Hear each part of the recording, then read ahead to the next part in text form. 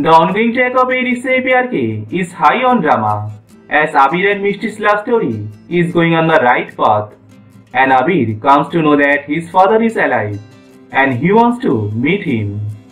As per the plot, Abir and Mishti reveal about their relationship in front of their entire family.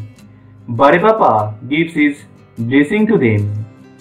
Now in the upcoming episode, Abir's birthday is coming soon and Mishti wants to surprise him and she decides to have a meeting with father so that he can meet him after so many years.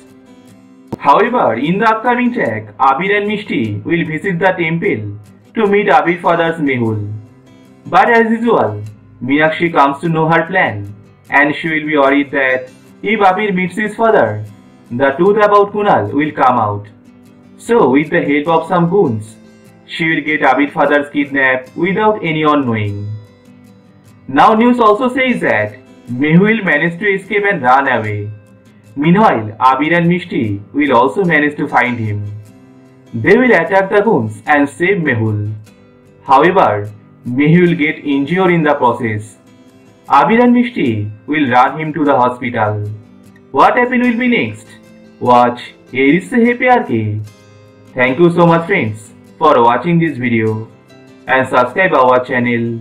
Hit like and share this video and press the bell icon for latest new video daily.